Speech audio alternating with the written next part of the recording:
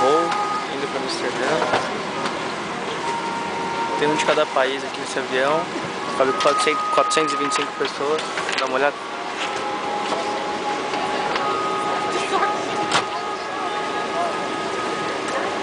Classe econômica. Então,